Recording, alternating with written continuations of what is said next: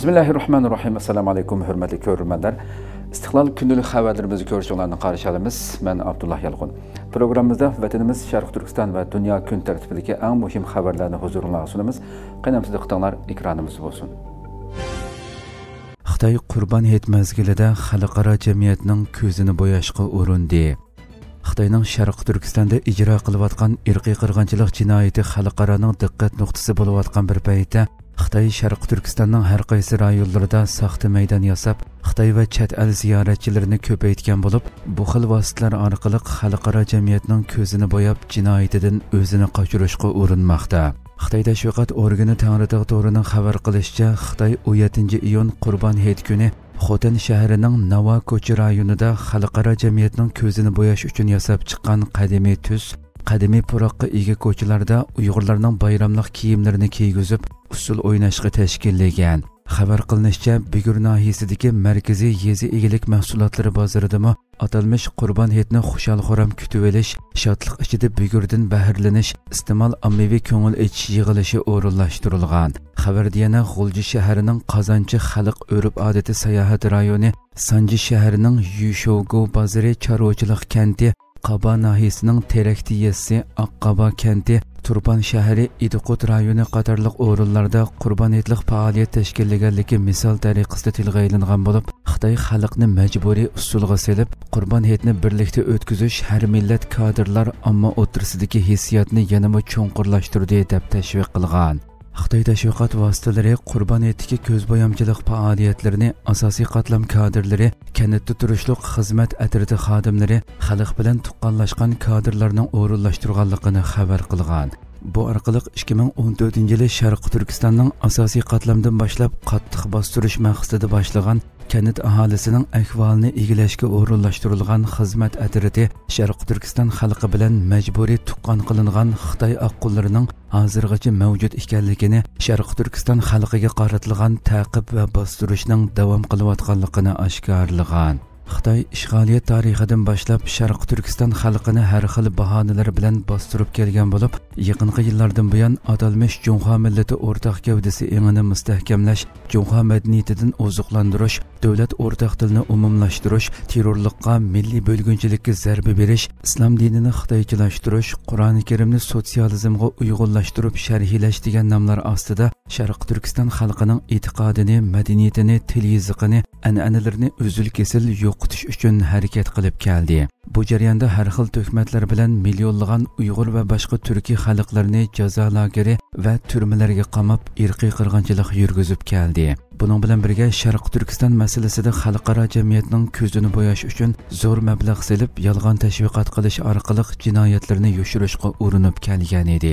Garchi xitoy bu yillik qurbon hit mazgilida yolg'on tashviqotlar orqali xalqaro jamiyatni aldashga uringan bo'lsimi biroq hayit harpisida uyg'urlar qisqa sillar orqali xitoyning sharq turkiston xalqiga ijro qilayotgan qattiq taqib qilib bostirish irqiy qirg'inchilikning davom qilayotganligini oshkorlagan edi.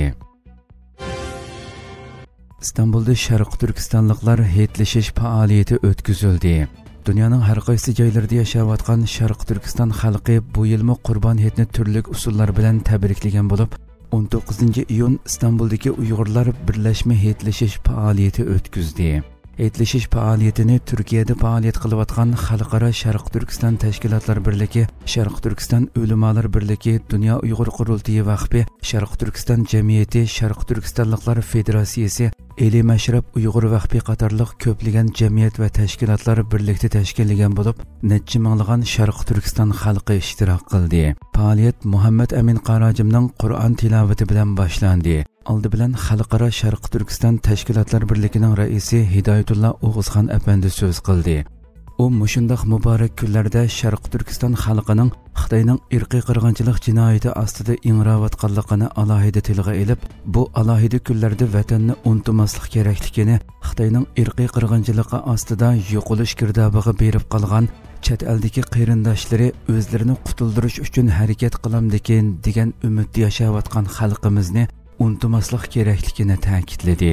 Orqadan sharq turkiston o'limalar birligining raisi doktor olimjon bug'do so'z qilib muhojiratdagi sharq turkiston xalqining hijrat zaminida bilim va mahorat o'rganish orqali vatanda qolgan qarindoshlarini qutuldirishni niyat qilganligini alloh bergan muhojirlik ne'matining qadrini bilish kerakligini muhojirlik mas'uliyatini tunishi іште har ishda allohni unutmaslik haqiqiy білән яшаш bilan yashash арқыдың Шарқ Түркістан жәмиетінің рәйіс вәкелі Халид Мұхаммед Әмин сөз қылды. О Шарқ Түркістан халқының иғыр азап ұқыбәт тұрып атқанлығыны бүгінгідек жәм болып иғылышқа Қытайның Шарқ Түркістанды ішләуатқан атқан жинаятлары сәбәп болғанлығыны bu текімі өнімлік болышығы bo'lishiga білдірді bildirdiganligini ішбәділді. Büyük Birlik Partiyasining Türk dunyosi mas'uli Metin Fidanar so'z qilib, Büyük Birlik Partiyasining Sharq Turkiston xalqini har vaqt qayrindishim deb qaraydiganligini, navbatda Sharq Turkistonda yuz berayotgan irqiy qirg'inchilik masalasini o'zlarining masalasi deb qaraydiganligini bildirdi. Orqadan Dunyo Uyg'ur qurultiyi vaqfining raisi Abdurashid Abdulhamid so'z qilib, Turkiyada faoliyat qilayotgan barliq Sharq Turkiston tashkilotlarining birlikda Qurbon hayitini qutlug'anligidan xursand bo'lganligini, bundan keyin bu birlik hamkorlikning davom qilishini umid qilganligini ta'kidladi. Sharq turkistonliklar federatsiyasining raisi mahmud tamullam so'z qilib sharq turkiston masalasini unumli hal qilish uchun hammaylarning o'zini isloh qilishi kerakligini barliq xalqdan sharq turkiston davosida pidokor va samimiy bo'lishni umid qilganligini bildirdi. Orqadan eli mashrab uyg'ur vahbining vakili qosimjon damullam so'z qildi. U hetliq tabrikdan keyin sharq turkiston tashkilotlarining bugungidek birlikka kelishidan iborat yaxshi boshlanishning texmi mustahkam va izchil holda davomlashishini allohdan tilaydiganligini bildirdi. Faoliyat yana bir qism o'smirlar jangovar she'rlarni deklamatsiya qilish qur'on tilovat qilish qatorliq ko'ngil sovg'alarini sundi.